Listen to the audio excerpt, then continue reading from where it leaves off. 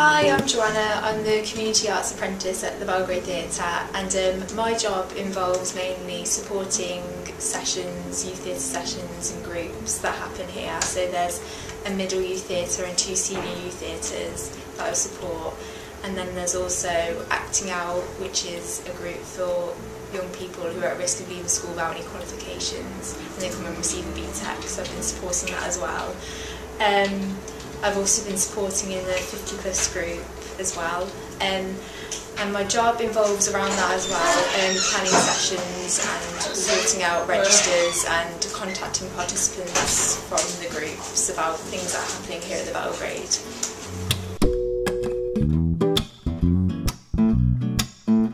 Uh, hi, my name's Tom uh, and I'm the new LX apprentice. Doing gang shows was my first um, real thing I did um, and I just, the week of the show, I just loved doing that um, and it just progressed and then I found this job on the internet um, so I just went for it and got it. Brilliant. Challenge for me was focusing my first light. Um, I haven't really focused before so that was a bit of a challenge for me.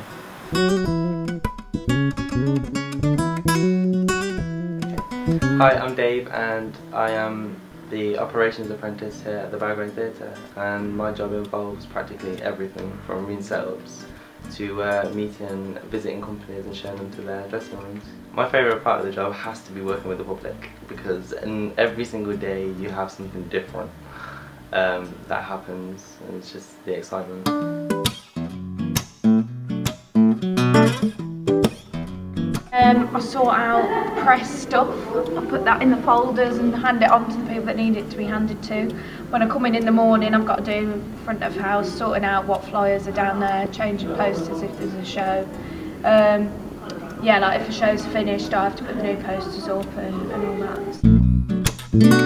that.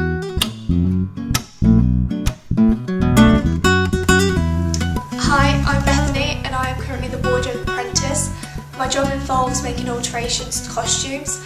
I also make costumes. I've made a top, a skirt and I'm currently making a dress. Also, when we do Tech Week, my job involves coming over to the theatre, adding any alterations during rehearsals.